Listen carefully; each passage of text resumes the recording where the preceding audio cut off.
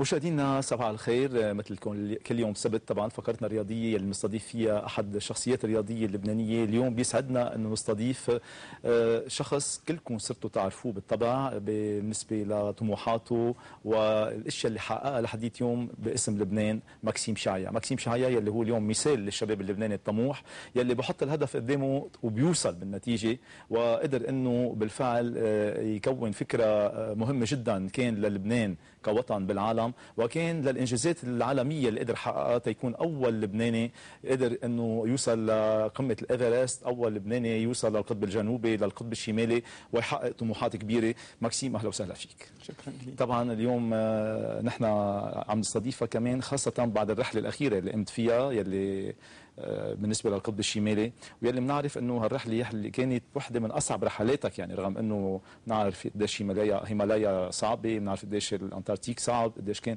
ولكن هالمرة حسينا ماكسيم كان من أصعب الرحلات اللي خاضها بالنسبة للقطب الشمالي. بتخبرنا شوية تفاصيل ماكسيم كيف تحضرت؟ كيف كانت هالرحلة لك وكيف كانت نتيجة؟ مزبوط كانت أصعب وحدة مش من أصعب وحدات بس أصعب وحدة. وأنا كنت عارف هالشيء هيدا بس ما بخبي عليك إنه مع إنه كنت عارف إنه رح تكون صعبة كثير طلعت أصعب من ما كنت متصور. آه كيف تحضرت؟ فينا نقول إنه بلش التحضير آه من زمان. مثلا بال 2004 أنا رحت للقطب بس just بس مسافة آه درجة واحدة يعني 60 nautical mile تقريبا 110 كيلومتر. سنة 2004 هيدي كانت مع شخص مميز من النرويج اسمه بورجي أوسلاند. ومع بورجي يلي بين هلالين كتب لي المقدمة لكتابي اللي رح يصدر قريبا. رح نحكي فيها بالاخر هلا كمان. آه، مع بيرجي تعلمت كل هالوسائل يلي واحد تقنية. بيدير باله لنفسه فيها آه، لما بيكون البرد آه، شديد جدا. بقى كنت يعني عارف. كان عندك محاولة قبل بالقطب الشمالي ولكن مش هالمسافة كلها يلي قطعتها. مزبوط. أنا آه، قبل مش محاولة إنه أنا آه، بلشت من 89 درجة زتتنا الهليكوبتر الروسي يعني على 89 درجة. يعني هون آه، وين كيف تبلش الدرجات اللي كنت عم تحسبها لما حط وقت حكيت مثلا رئيس الجمهوريه أنا على الدرجة كذا. إنه هون كيف كنت عم تحسب أنت للوصول نقطة الهدف تبعك كم درجة وكيف كانت؟ أه. على الكرة الأرضية بتعرف عندنا الخط كيف بيقولوا الاكويتر خط الاستواء. الإستواء. الاستواء. أه. هيدا صفر درجة بعدين بصيروا يطلعوا. صح. بعدين أقصى آه، شمال الكره الأرضية هي 90 درجة نقطة واحدة نعم. ما بتعود دويره بتصفي نقطة واحدة بس. القطب شمالي هو 90 درجة شمال قطب جنوبي هو 90 درجة جنوب. آه نحن امتلأنا هالمرة هالرحلة الطويلة من أقل شوي من 83 درجة. شمال. يعني اجتزنا أكثر شوي من سبع درجات. 7 ضرب 60 420 nautical mile يعني تقريبا 800 كيلومتر. هلا طبعا واحد يجتازهم بده بده بده يمشي مسافة يعني كانت فكرة واضحة كيف حسابات وكيف وكيف كانت المسافة يعني. بال 2004 انطلقت من 89 درجة بسموها the last degree آخر درجة من 89 ل 90 ما في شيء اسمه 90 فاصلة. 90 يعني القطب. هو نقطة واحدة. يعني على القطب ما في واحد بعد يطلع أكثر على الكرة الأرضية. آه وهذا كان تحضيرا لهال لهالحملة هاي.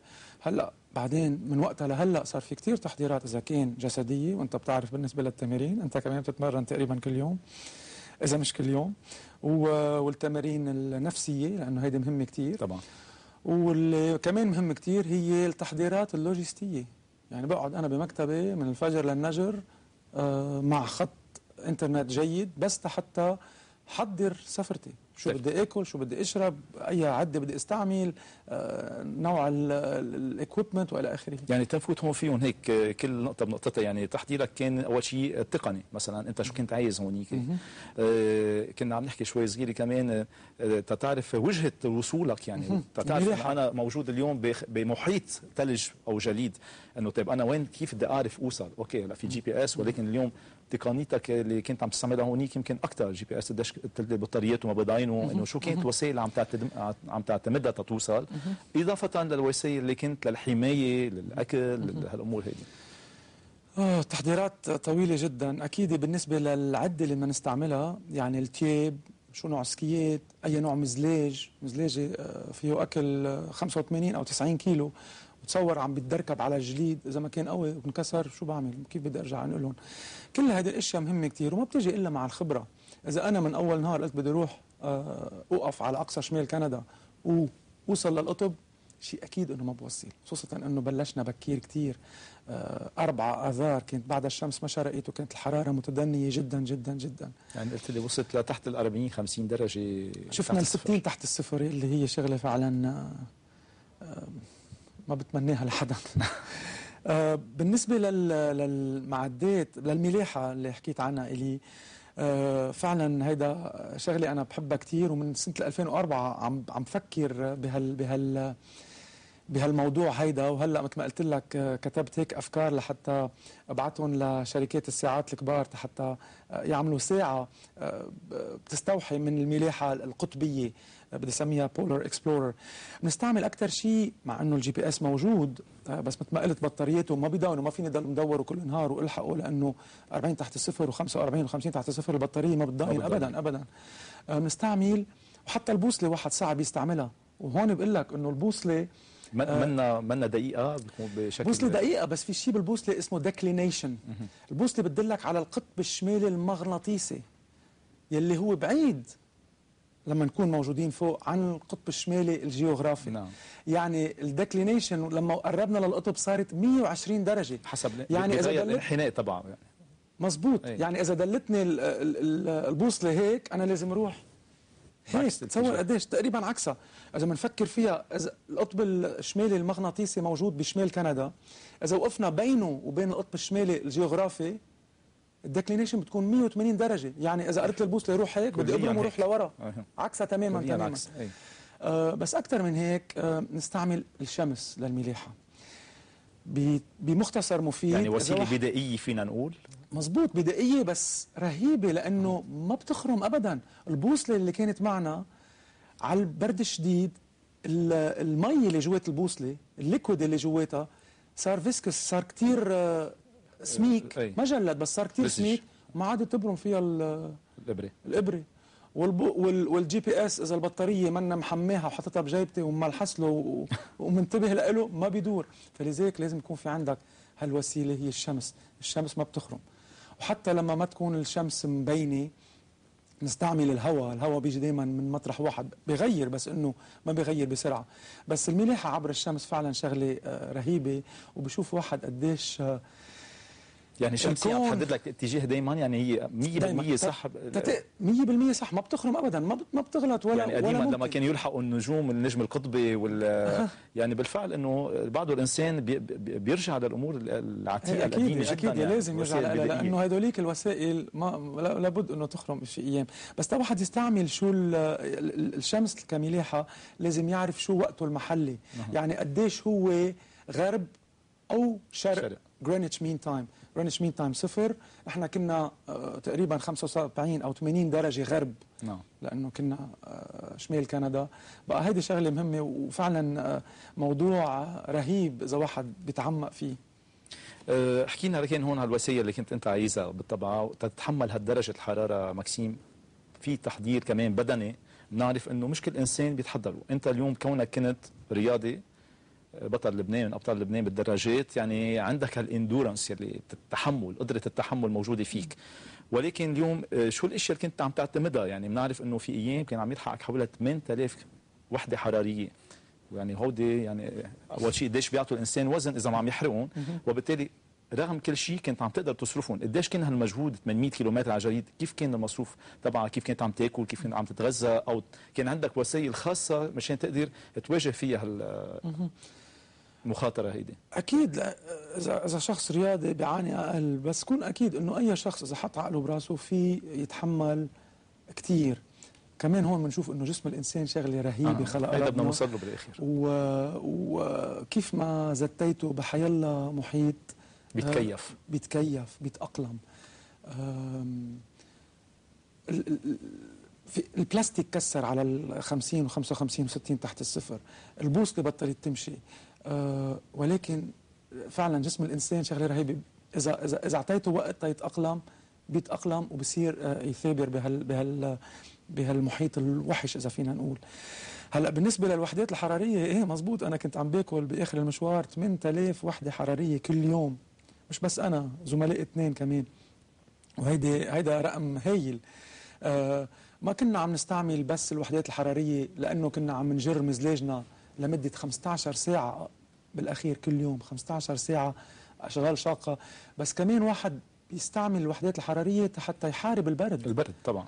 آه، حتى إذا ما عم تعمل شيء passive consumption بتكون كبيرة. فلذلك لازم واحد ياكل كثير يعني هيك- قبل ما أروح أي. آه، زدت تقلي زدت تقلي آه، 12 أو 13 كيلو قبل ما أمشي.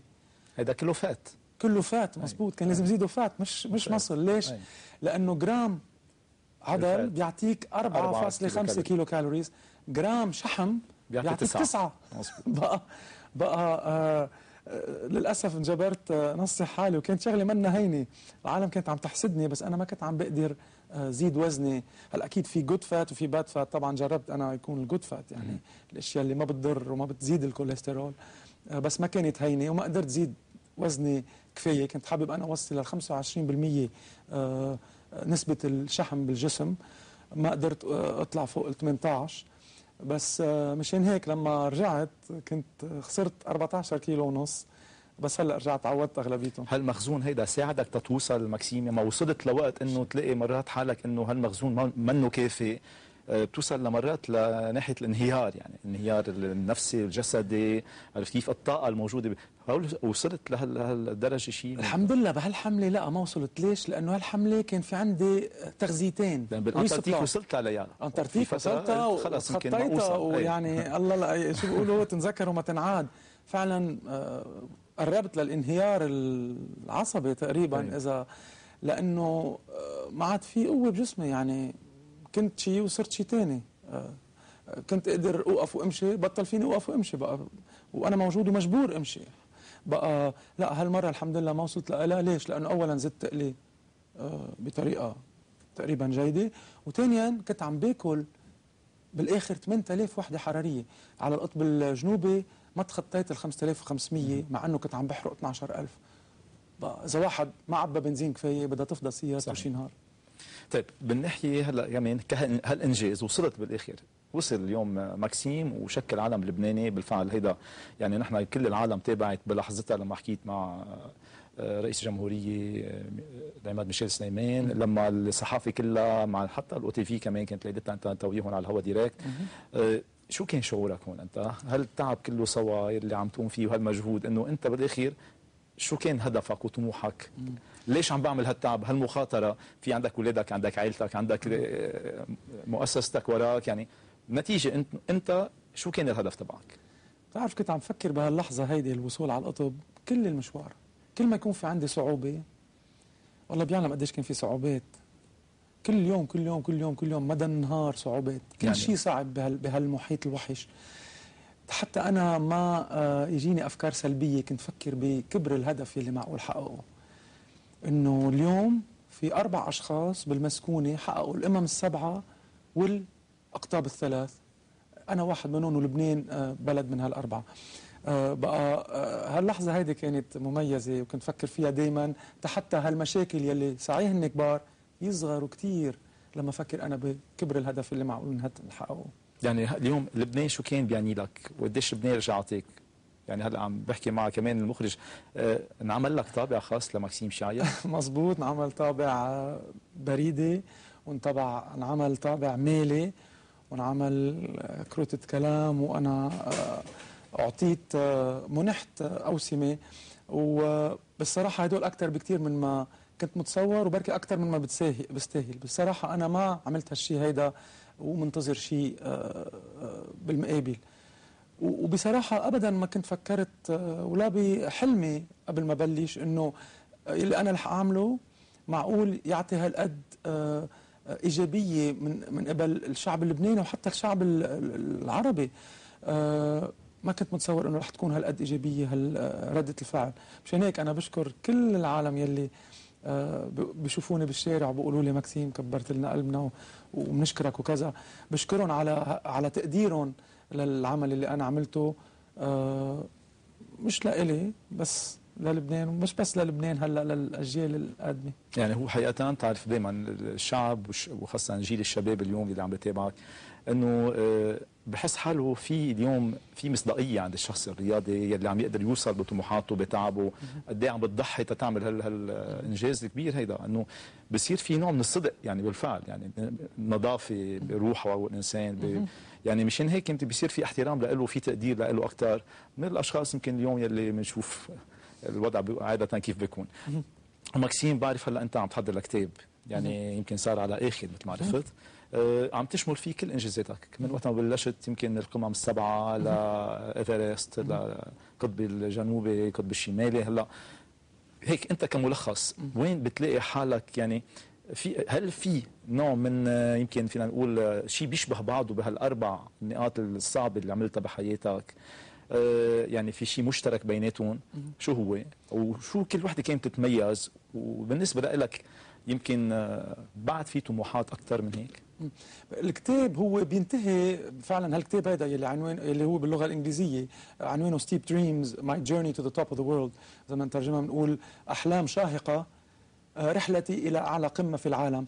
هو بينتهي على قمة إيفرست.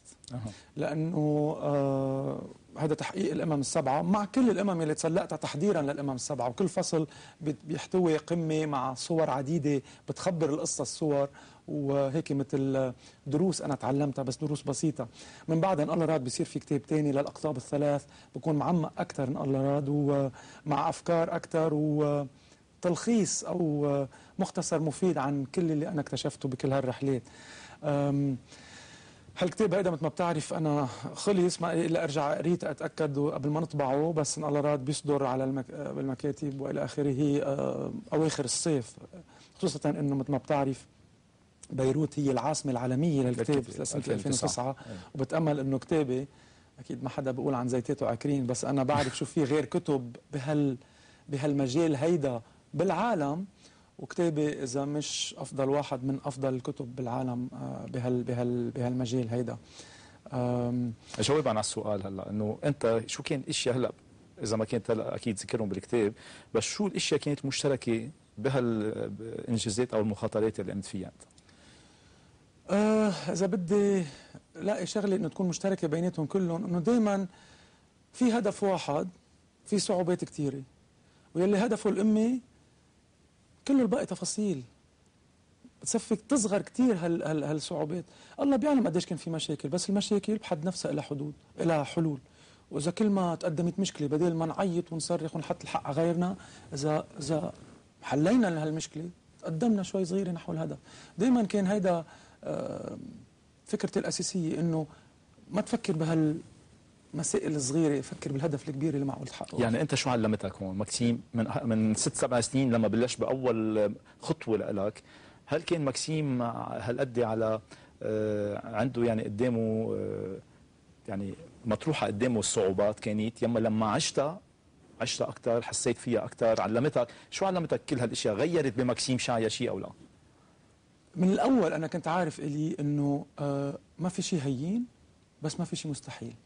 وقتها قلت لنفسي لما كان بدي برهن لنفسي إنه أنا لو عشت بمجتمع طبيعي بدون حرب كنت قدرت صرت محترف برياضة أو أخرى قلت لنفسي إنه إذا غيري حقق الأمم السبعة كانوا 60 أو 65 واحد بالعالم محققين قلت أنا ليش أنا ما فيني؟ ليش هن أحسن مني؟ بقى هيدي هيدا اللي بجرب أقوله لكل شبابنا لما أروح على المدارس وهيك إنه ما في شيء هين بالحياة. متفقين على شيء بس ما في شيء مستحيل. بس انت بشخصيتك هل اعطيتك شيء جديد؟ يعني غيرت لك بشخصيتك؟ يعني صرت تحس إنه الإنسان اليوم بالحياة إنه بده يتكل على حاله؟ قديش إرادة يعني قلت هذيك الساعة شغلة كان مهمة إنه الإنسان قد بيتكيف مع الطبيعة بالآخر يعني. إنه أنت كشخص رغم إنه هلأ يمكن بعرف عندك بعض الإصابات هلأ نتيجة آخر مشوار لك يعني. ما عم تحكي فيها إيه. ولكن هالشيء هيدا قديش أثر عليك يعني؟ هل بتعيد بعد ماكسيم؟ أنا بعرف إنه هون القطب الشمالي ما بعيد هذا شيء أكيد إيه؟ لا ما بعيد القطب الشمالي إيفرست بركي اعيده بس القطب الشمالي آه، لا أو هل انتهت هون كل مغامرات لا ماكسيم بس يعني نبلش نحصد يلي بركي أنا آه، زرعته أيه. بهالجيل الجديد يلي فعلا عنده طاقة وقدرة أكثر بكثير مما هو بيتصور مثل ما أنا كان عندي هالطاقة وقدرة ولو ما أنا قلعتها من نفسي كانت بركي ضلت جوا وهون ما بريد إنه أي شخص بلبنان خصوصا هالجيل الجديد. خلينا ننسى جيلي. هالجيل الجديد عندهم طاقة وقدرة رهيبة. قديش سريعين. أسرع من الأساتذة بالمدارس. مزبوط يا ملقا وما حرام شي واحد أو وحدة من شبابنا أو شاباتنا يكون في عندهم موسيقى داخلهم وتبقى جوا ما يعزفوها ما يطلعوها ويعزفوها. هذا اللي أنا بريد أقوله إنه مين ما كان في يعمل شو ما كان إذا حط عقله براسه. ولكن هل بيقدر يعملها لوحده؟ أنت اليوم كان في وراك مؤسسة طويلة عريضة. آه، ساعدت ماكسيم إنك تقدر تحقق هالإنجازات. هل بيقدر الإنسان يعملها لوحده أنت بنظرك أو بدك مين يساعدك وراك أكيد المساعدة بتساعد يعني بتساعد بس بده هو يقوم ويوقف. هو بده يبديها ما في حدا يبديها عنه. هو لازم يكون أو هو أو هي لازم يكون عندهم هالشغف حتى يحققوا الحلم أو الأمنية أو الطموح اللي عندهم إذا ما هن بلشوا يكونوا أكيدين ملح يعني أنا ما أجتني من من السما يعني طبعا ربنا واكبني ودائما أنا قريب له بس بده واحد هو يبدأ المسيره حتى بعدين يجي حدا يدعمه ويعطيه الجوانح مثل ما أنا بتعرف المؤسسة اللي دعمتني. ماكسيم ما بعرف إذا في شيء بعد عندك شيء كلمة أخيرة بتحب تقولها اليوم للشباب اللبناني للبنان نتيجة هالمغامرة الأخيرة لك بقول لهم إنه هن نفسهم وهن مستقبل بلادنا آه ما ما يفكروا إنه حدا تاني رح رح يأمن لهم مستقبلهم. هن بدهم يأمنوا مستقبلهم. وكل واحد منهم عنده طاقة وقدرة أكثر بكثير من ما بيعتقدوا. وكدولة كوطن قديش بحاجة أنت بتحس أنه كمان كثير في اهتمام أكثر شوي بهالنشاطات وهالرياضة شيء أكيد. هلأ أنا ما بلوم دولتي أنه لما أنا كنت بعمر أقدر نافس وأقدر خوض مسابقات وأقدر أبرز كان في إشياء أهم بدها تهتم فيها بلادي. كنا بحرب لسوء الحظ. بس بعتقد هلأ صار في آه، صار فينا نبلش نهتم بهال بهالجيل الجديد يلي مثل ما قلنا له عنده طاقة وقدرة كثير كبيرة. وبالنتيجة رح رح رح تصب هالطاقة وهالقدرة بالبلاد يعني للمستقبل. ماكسيم شايا نحن بنشكرك اليوم لوجودك معنا. بنتامل آه، إنه آه، نشوفها كمان إذا بعد في إنجازات تقدر آه، أو أهداف أو طموحات تقدر تحققها بعد بالمستقبل. وإذا كانت هون عم تختم إذا بدك حياتك المغامرات تبعك كمان تكون أنت حققت إنجازات كبيرة إن كان لك شخصيا لعائلتك وإن كان للبنان يلي هيدا كان أهم شيء. بنشكرك لك اليوم بوجودك معنا. شكرا لك مشاهدينا حتوقف مع فصل قصير وبنرجع نتابع بقية فقرات يوم جديد.